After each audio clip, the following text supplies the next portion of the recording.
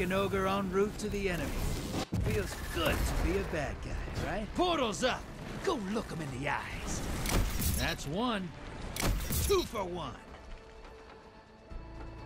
One more in the grave.